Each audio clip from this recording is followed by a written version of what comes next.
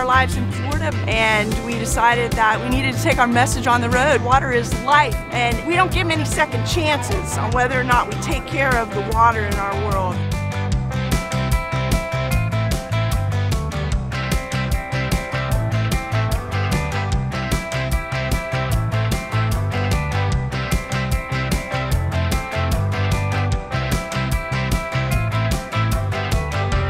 Of their parents make their living on the water, whether it be clamming, oystering, even the tourism is tied to it. Really, you know, the whole economy is kind of tied to the beauty of nature in this area.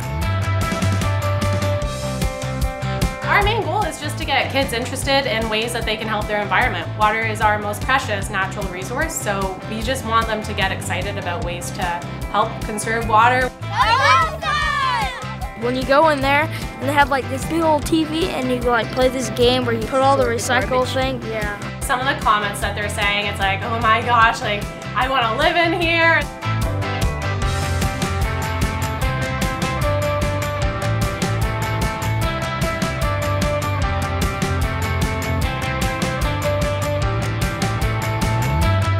We're just able to see as many students as we can because Zephyrhills has made that sponsorship for us.